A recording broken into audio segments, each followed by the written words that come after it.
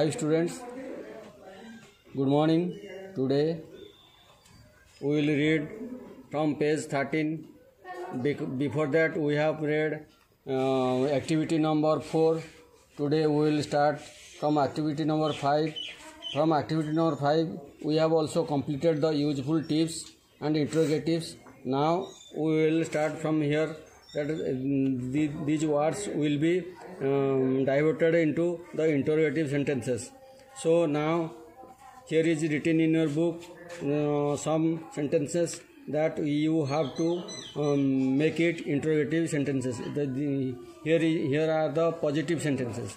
So from positive sentence how you will do the interrogative sentences? So this is your tips.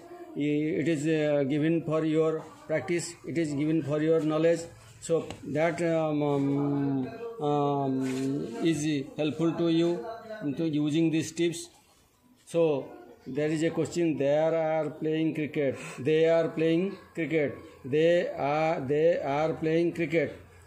That will be the. Are they playing cricket? Are they playing cricket? That that is the question mark is here. You have to give in the question mark at the end of the sentence. Otherwise, it will not be uh, called as a question or interrogative sentence.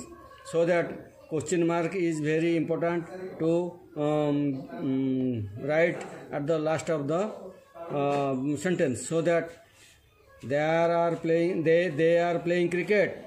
Answer will be are they playing cricket? Like that he is working hard. Answer will be is he working hard? So always you have to ask the questions so question marks should be written here. As if your um, recitation uh, will be hard like as you are asking to a question to someone. So here is another question. Here is written the positive uh, sentence that she can dance. You will do the question. You will uh, terminate into an interrogative how? Now can she dance? Can she dance?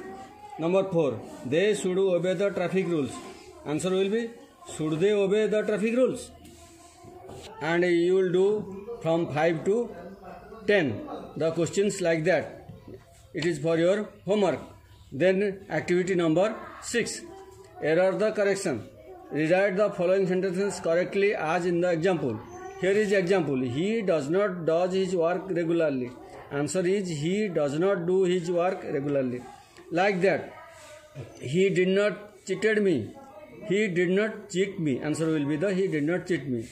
Number 2 he did not cheats me. He does not cheat me. So you will uh, do the next questions in your uh, homework. So up to your question x. Then activity number 7 formation of words adding prefix and suffix. Adding prefix and suffix.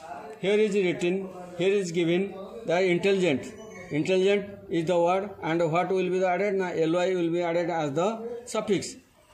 Before using a before using a uh, word or um, or a letter is the prefix and after the word using the letter is called the suffix. You know earlier you know that so that where is added before that is prefix and where is added after that is the suffix so intelligently ly is added here intelligently ly is added is the suffix added here a phrase phrase is word a is added before the word that is aphrase aphrase so it is also a prefix um, prefix added as a, a as the prefix and added here so like this you will do your homeworks up to x activity number 8 adjective form uh, adjective form of words a and b. A group and b group.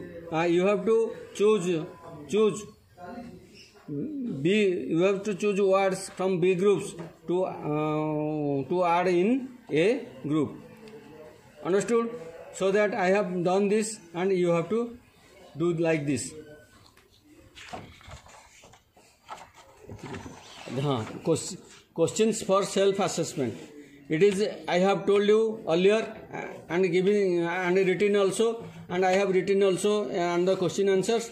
So these questions for your self assessment that means how much you have um, received and how much you have kept in your knowledge and uh, how much you have remembered these um, topics this this topic and you have to answer all these questions from your assessment means self assessment means you have to do it at your own language and at your um, own way.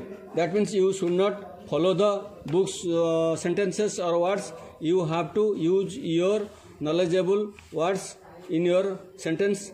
Have a meaningful uh, sentence. Okay? Thank you. And you will do up to like up to here.